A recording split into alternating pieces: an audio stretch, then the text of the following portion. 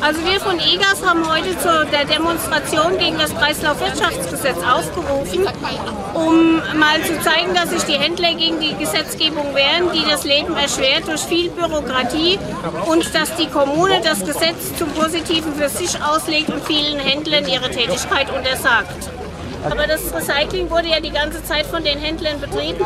Wir gehen davon aus, dass sie einfach den finanziellen Aspekt für sich entdeckt haben und möchten diese Rohstoffe für sich, denn dort soll man es ja kostenlos anliefern, wobei die Privatleute bei den Schrotthändlern ja teilweise sogar noch Geld bekommen. Ja, für die Privatleute bedeutet das, dass sie über ihr Eigentum nicht mehr selbst entscheiden dürfen. Sie müssen es der Kommune kostenlos überlassen. Und das ist ein Einschnitt in jeden Privathaushalt, denn wenn man renoviert und hat ein bisschen Metall oder ähm, auch Kupfer oder sowas von Rohren, dann, äh, gibt, dann gibt es ja dafür Geld und dieses Geld bekommen die Leute nicht mehr. Und der Schrotthändler holt die Sachen, der holt sie auch zum Beispiel aus dem Gebäude, aus dem Keller. Das übernimmt die Kommune nicht und wenn es angeboten wird, nur noch für Entgelt. Das machen die Schrotthändler alles kostenlos. Alles Wir